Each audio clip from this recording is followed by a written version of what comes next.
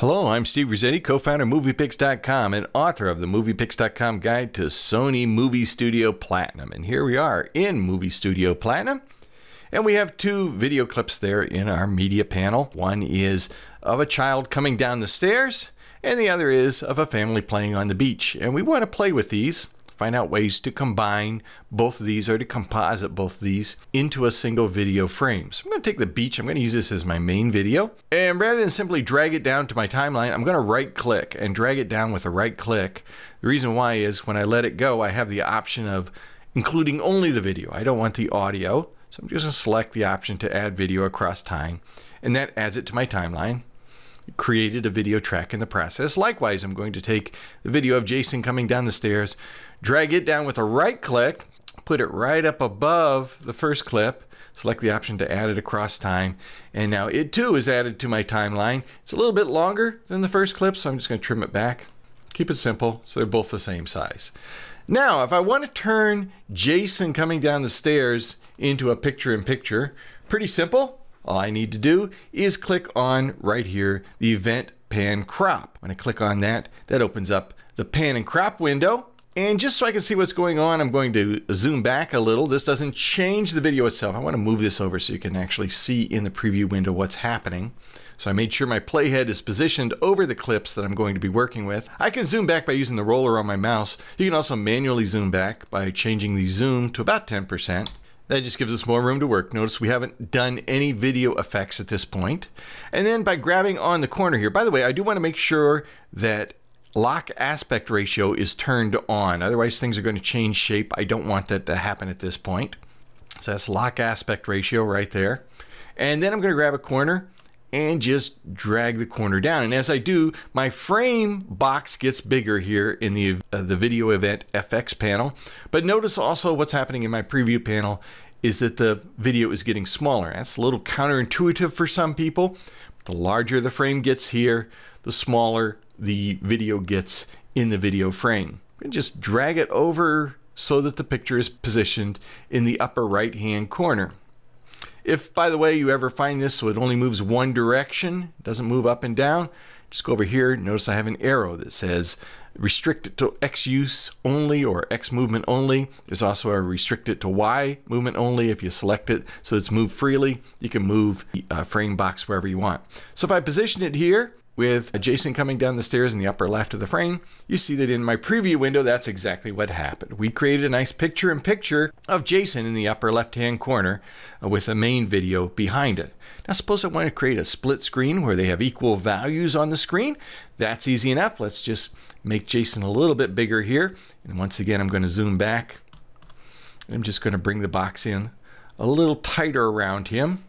So that makes him bigger. So he's taken up just about just the halfway point in the frame. So there he is up in that corner. And then I'm going to take the other video, do the same thing. Click on the event pan crop tool. We'll zoom back here to about 10% and once again do the same thing. Uh, making sure that once again lock aspect ratio is selected. And I'm going to position it so that it is in the lower right corner. And it too is about the same size as the Jason video. Now I have a nice split screen with Jason sort of overlapping the other video. Very nice. Two videos on screen at the same time by using the Event Pan Crop tool.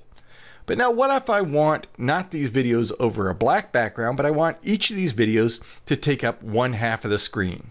All right, first thing I want to do is take the background video. We'll open up Pan Crop for the back background event or video. We'll zoom back again to 10% zoom. I could do that manually here by the by the way, of course, in addition to using the roller on my mouse. I'm going to make this full screen again. So I'm going to go up here to the preset menu and select default. That'll reset it to full screen. And then I would just want to shift the action over to the right hand side of my video frame.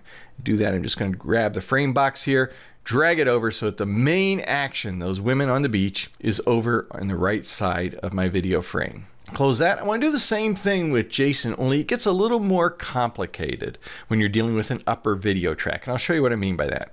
So I'm going to take my pan and crop. Once again, I'm going to set it to default so that Jason fills the frame. Now this time I'm going to turn off the lock aspect ratio because what I want to do is crop this video a little bit And with that turned off, now you see I'm not constrained to keeping the video frame the same size. I can come in from side to side here, make it a little narrower. There it is. So the main focus of the action, Jason there, is kind of centered in that, uh, that section of the video. And when I close my video event FX panel, you see that Jason's there. He's in the center of the frame though, but we've got him cropped down so he only takes up half the video frame.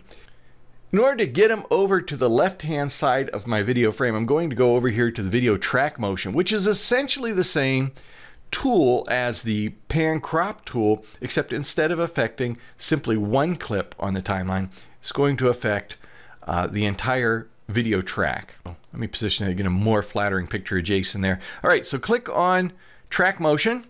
This opens, like I say, a very similar tool to the pan crop tool. And I'm just going to slide it over here and it's going to position Jason in the video frame. So I want him to be over in the left half of the video frame. There he is. When I close that, so we use the event pan crop to kind of trim Jason or trim off some of the excess off the uh, right side of his video. And then we use the track motion to shift him over to the left. And now we have a really nice shared screen here or split screen in which Jason is on the left half and my main video and the action for it is over on the right. So the pan crop tool, very effective for creating split screen and picture-to-picture effects. Now, if you want to know more about all the tools here in Movie Studio Platinum, be sure and check out the tips and tutorials we have here at Muvipix.com. And if you want to know everything there is to know about this program, check out my book, The Muvipix.com Guide to Movie Studio Platinum. It's available at Amazon.com and, of course, right here at the Muvipix store.